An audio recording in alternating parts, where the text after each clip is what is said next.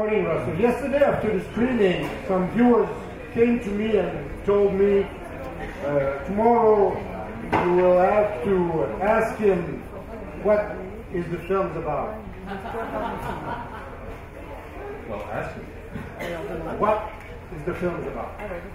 Well, I would like to answer that with a Jewish answer, and I would ask you what you think. I'm not. I'm, I'm not here to think. I'm here to ask a question. Come on. okay. Uh, I will answer by another question. Because with this film, it seems to me that more than ever, you are at the edge of animation, and uh, I had the strange feeling that the main character was the green screen.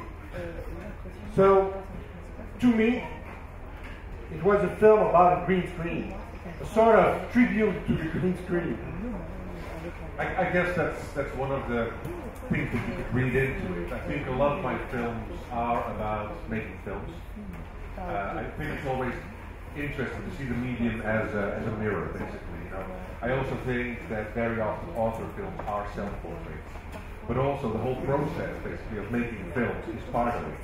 And in this case, there is literally a reference to to how I make films. You know, I was shooting at one point because I use live action a lot, and usually in a green screen situation. And I had I had this sort of flash of reality while we were shooting. I was standing on on soundstage in front of a green screen, and there's all these weird people with masks, green masks, who do really strange things. And I suddenly realized, like, what a surreal ritual it actually is, you know, making a film like that. It was in a, way, in a way very scary. You know, there was one character in front of the green screen being treated very badly because the director wanted that to happen. And there was all these other people around him that were all part of the same ritual. Everyone knew what they were doing, but as an outsider, which I certainly found myself in as a director, it looked like a weird ritual, almost like a weird sort of um, uh, execution. And, and that sort of seeps into the work itself, which is always interesting. You know, if reality influences art, when uh, uh, reality was already influenced by the art itself. So that's what I'm very interested in. So I let that happen in, in this film. Who are the Wreckers? The Wreckers is my music project, basically. It's, it originally was a band. It was me and three other guys, the band was called The Wreckers. The The Wreckers at one point uh, got older. They got Yoko's and Linda's, they got lost their. And the, the, the band magic was gone, but still I had all this music uh, that I wanted to use. Um, so I decided to turn it into a project. And the band became something bigger than Simple Mortals, and the Wreckers became the Wreckers, not the Wreckers, the Wreckers. So it's still a project. We're still recording all the music, and I decided to make it my Fantasia.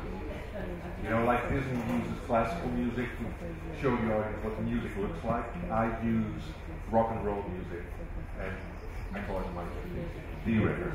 Okay, so do, do you consider uh, a film like Lonely Bones as a music video? I mean, mm-hmm. is this a support for the music or No, no, music videos are basically commercials to sell records. Yeah. Or to sell artists or whatever. In this case, the film sells itself. You know, it's, it's weird that people, as soon as you use rock and roll instead of classical or jazz, which is perfectly accepted in the, in the film world as a sort of artistic way of, uh, artistic motivation to make a film. As soon as you use rock and roll, people think it's a music video. It is because I'm not selling anything. I'm just using the music. You know, it would be pretentious if I be using classical music because I didn't grow up with classical music. And classical music is not as meaningful to me as rock and roll. Rock and roll is my way of self-expression. And my music films are basically ways to introduce you into my yeah, intuitive world. Your films always take several viewings for me to get all the things that are in them because there's so many little in jokes, details. My impression upon the first watching of this that it was your funny, and I found the film very funny, take on Christianity and the resurrection.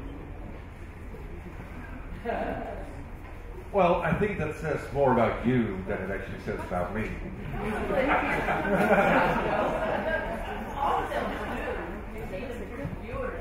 Yes. I think I think with films like this, there is no right and wrong interpretations. You know, it, it's very interesting to actually have a dialogue with the audience.